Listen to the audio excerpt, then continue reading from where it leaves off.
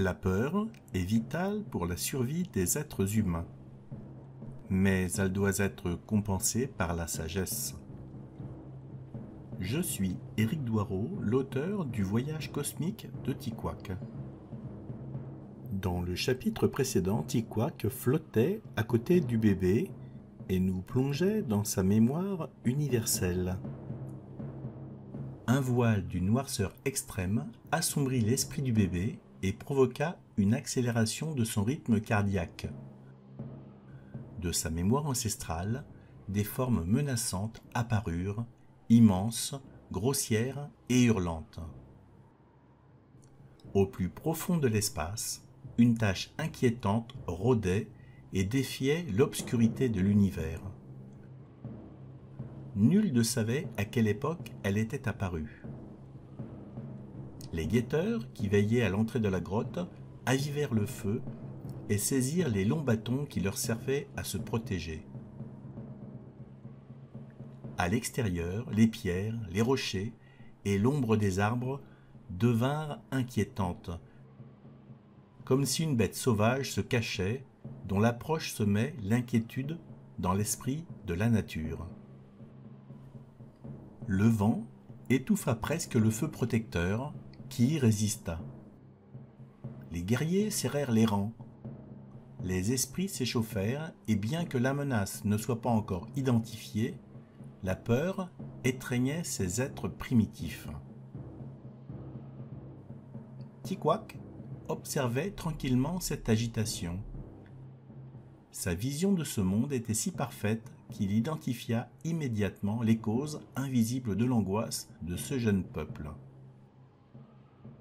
Une tempête se leva sur l'océan et des vents violents projetèrent au loin des embruns qui faisaient fuir nombre d'animaux dans les forêts, tandis qu'à plusieurs années-lumière de là, un trou noir inimaginable de puissance engloutissait tout sur son passage.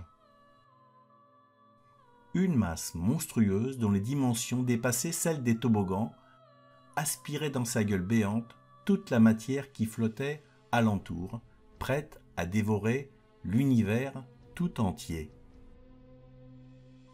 Nous sentons grandir une peur irrationnelle qui est symbolisée par euh, ce trou noir qui apparaît euh, dans l'univers. Alors mais qu'est-ce que c'est qu'un trou noir exactement? En astrophysique, un trou noir est un objet céleste si compact que l'intensité de son champ gravitationnel empêche toute forme de matière ou de rayonnement de s'en échapper. En fait, euh, c'est un puits sans fond, un puits gravitationnel. De tels objets ne peuvent ni émettre ni diffuser de la lumière et sont donc noirs, ce qui, en astronomie, revient à dire qu'ils sont optiquement invisibles. Dans le cadre de la relativité générale, un trou noir est défini comme une singularité gravitationnelle occulté par un horizon absolu appelé horizon des événements. Selon la physique quantique, un trou noir est susceptible de s'évaporer par émission d'un rayonnement de corps noir appelé rayonnement de Hawking. Un trou noir est presque inimaginable pour un être humain et peut provoquer une peur irrationnelle. Dans notre histoire, cette peur est mise en relation avec des éléments naturels, tels que le vent, la mer et les animaux sauvages tapis dans l'ombre. La poignée de guerriers gesticulait de plus en plus en grognant et en grondant. Leurs pieds allaient d'avant en arrière dans une sorte de danse. Leurs mains et leurs bras serraient et brandissaient des lances en direction d'un ennemi invisible, dissimulés dans l'ombre et au dehors. Les femmes et les enfants se serrèrent au fond de la caverne, recroquevillés et silencieux, craignant l'arrivée d'une bête sauvage ou pire encore. La peur est vitale pour la survie de l'être humain, mais quand elle s'emballe, elle provoque des troubles anxieux comme des phobies. En réponse à ces incertitudes, certaines personnes développent un sentiment généralisé d'appréhension et d'hypervigilance avec une conduite d'évitement. Cette peur de l'inconnu peut alors entraîner un trouble anxieux comme l'anxiété chronique et aiguë. De l'ombre des rochers, un vieil homme s'avança. À lui seul, il avait vécu près de quarante hivers et autant d'étés. Une vie exceptionnellement plus longue que celle de bon nombre d'adultes. Il s'approcha des femmes et les regarda avec douceur. Ses gestes étaient lents et bienveillants. Les enfants se tranquillisèrent et reprirent leur jeu. Sur son visage poilu et primitif, un sourire était dessiné. Ses yeux avaient déjà tant observé de choses qu'il savait que, parfois, le vent qui se lève sur la forêt paraît effrayant. Les femmes touchèrent ses mains, puis il se dirigea vers les hommes qui gardaient l'entrée. Ils échangèrent quelques grognements. Les bâtons s'inclinèrent tandis que le vieillard entraînait les guerriers vers l'extérieur. Le vent, vivifiant et salé, se fit plus doux et vint caresser leur visage. Le bruissement des feuilles n'avait pas cessé, mais ne paraissait plus aussi menaçant dans les esprits encore habités par la peur et l'ignorance. Les regardait avec compassion tandis que le mystérieux trou noir au fond de l'espace continuait son travail d'absorption. Bientôt, il s'éloignerait et disparaîtrait. Le vieil homme apporte la sagesse au clan par sa tranquillité et son expérience.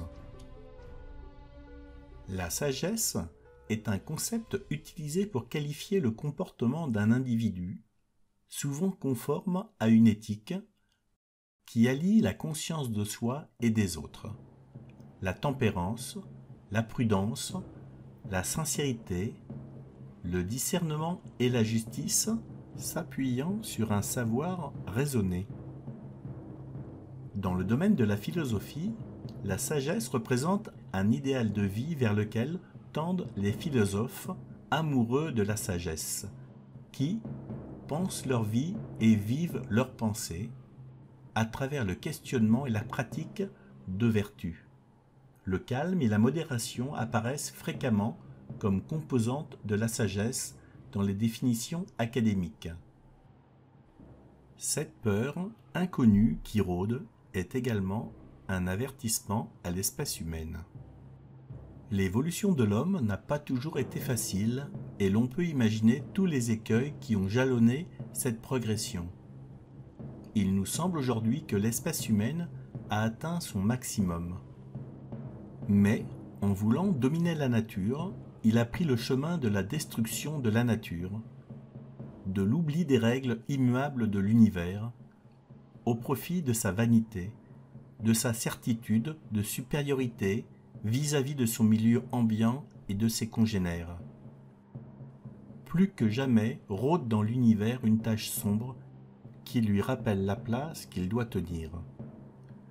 Le défi des hommes est dorénavant de savoir dominer ses pulsions destructrices, son instinct de domination qui le mènera inévitablement à sa perte s'il ne peut trouver en lui l'étincelle divine qui lui permettra peut-être d'accéder à la sagesse et à la vraie intelligence.